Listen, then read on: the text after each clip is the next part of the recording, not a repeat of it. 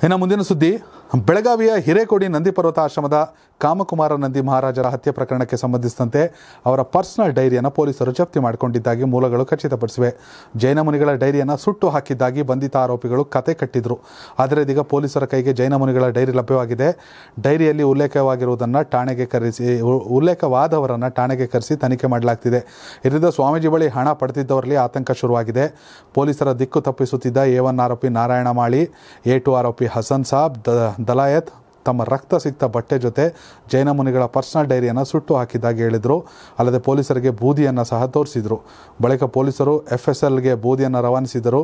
ಹೀಗೆ ಡೈರಿ, ಇದು ಈಗ ಡೈರಿಯ ಬೂದಿಯಲ್ಲ ಎಂಬುದು ತನಿಖೆ ವೇಳೆ ಪತ್ತೆಯಾಗಿದೆ. ಡೈರಿ ಪತ್ತೆಯಾಗುತ್ತಿದ್ದಂತೆ ತನಿಖೆ ಮತ್ತಷ್ಟು ಚುರುಕಾಗಿದೆ.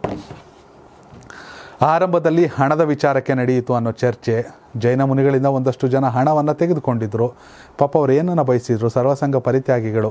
ಆಶ್ರಮದ ಹಣವೋ, ಮತ್ತೊಂದು ದುಣ ಹಣವೋ ಬೇರೆಯವ್ರಿಗೆ ನೆರವಾಗಲಿ ಅನ್ನೋ ರೀತಿಯಲ್ಲಿ ಕೊಟ್ಟಿದ್ದರು ಆದರೆ ಹಣವನ್ನು ತೆಗೆದುಕೊಂಡು ವಾಪಸ್ ಕೊಡದೇ ಇರೋರಿಗೆ ಈಗ ಬಿಸಿ ಮುಟ್ಟುತ್ತೆ. ಯಾಕೆಂದರೆ ಆ ಪರ್ಸನಲ್ ಡೈರಿಯಲ್ಲಿ ಅವರ ಎಲ್ಲ ಹೆಸರುಗಳನ್ನು ಬರೆದಿಟ್ಟಿದ್ದಾರಂತೆ. ಅದರ ಆಧಾರದ ಮೇಲೆ ಪೊಲೀಸರು ತನಿಖೆಯನ್ನು ಮುಂದುವರಿಸಿದ್ದಾರೆ. ಸಿ ಐ ಡಿಗೆ ಕೂಡ ರಾಜ್ಯ ಸರ್ಕಾರ ತನಿಖೆಯನ್ನು ವಹಿಸಿದೆ.